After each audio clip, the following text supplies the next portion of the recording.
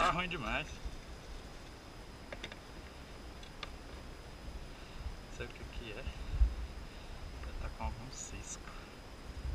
Tira a mão, quer é pra.